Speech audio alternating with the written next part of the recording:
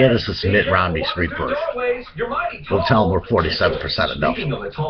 Just hope he remembers that, that we're 47% enough. Us poverty people in America are 47% enough. He's got a lot of gall. This guy shouldn't even be in office because he's a bigot.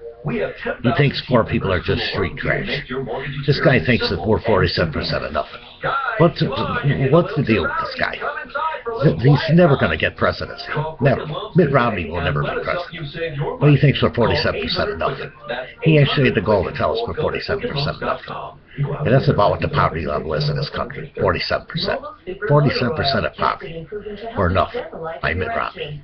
That's the truth. That's the fact. That's the human life. That's the reality. That's the sickening part.